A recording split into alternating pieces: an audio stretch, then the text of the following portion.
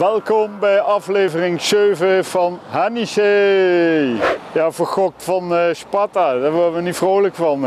Meneer Pastoor leidde de begrafenis van uh, ons clubje Hanice in uh, zondag. Werk zeker samen met de dela die Pastoor. Ja, Dalle en Dumic ging enigszins nog het beetje het niveau, maar de rest was, was niet uh, denderend vond ik. Ik was gisteren echt pissig van die club van ons. Baba. Rustig. Woensdag spullen we tegen Den Haag voor de beker.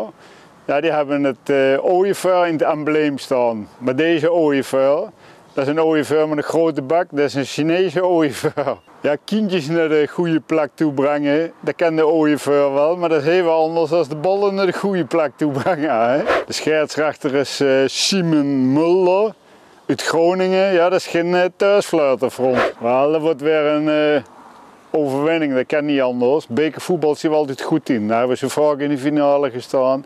Wel, dat komt wel weer goed. 2-0. De ooievaar, die gaat weer in zijn hok. Hoi!